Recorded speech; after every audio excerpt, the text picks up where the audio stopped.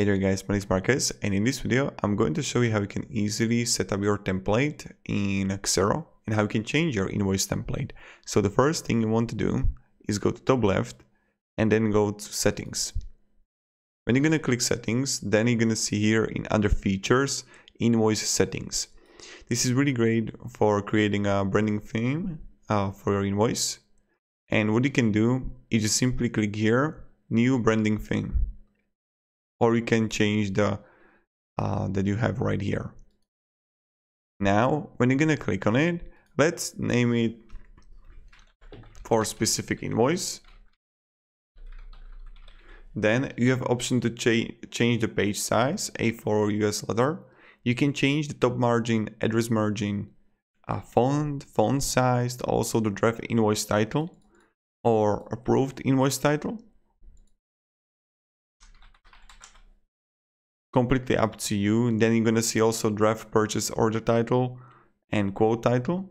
Then on the right side, you can enable or disable some things like show tax number, show column headings, show item code, unit price and quantity, show payment advice cutaway. Then you're gonna see the show tax column, registered address, logo. You can also hide the discount or you can show contact account number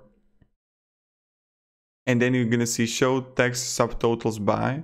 You can also tax components or rates or rates over 0% or single tax subtotal.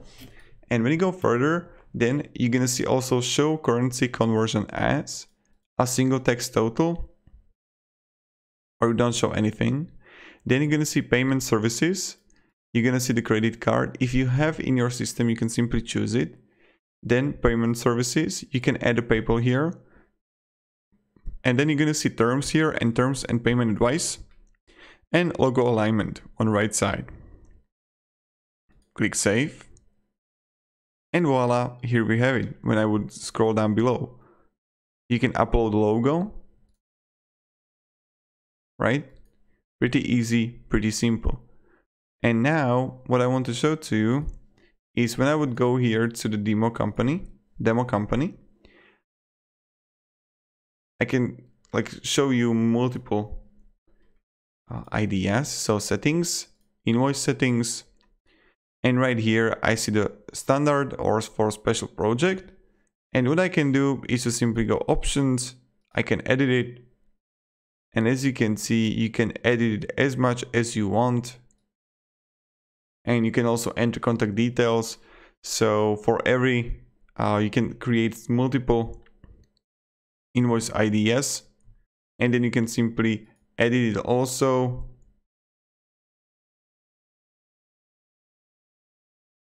Right? Let me show you. So that's what you can do. And now you can go to top left new branding theme and you can create a custom doc or standard. If it's going to be a custom doc it's going to look like this.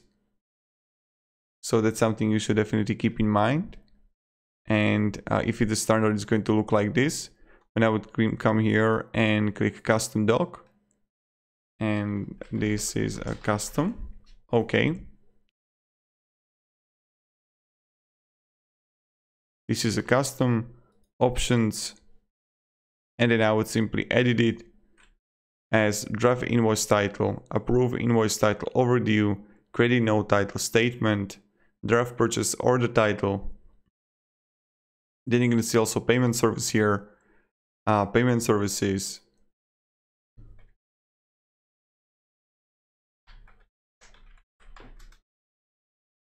And yeah, so this is pretty much it. And this is how you can set up a new invoice and set up a new invoice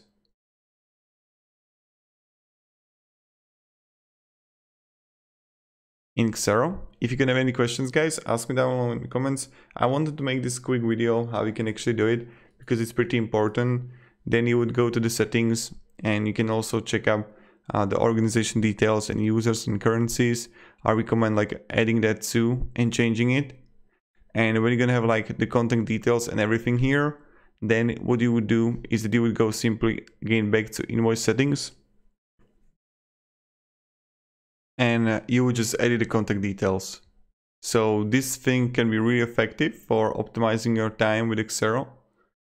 And yeah, Thank you very much guys for watching. Have a great day and goodbye. See ya.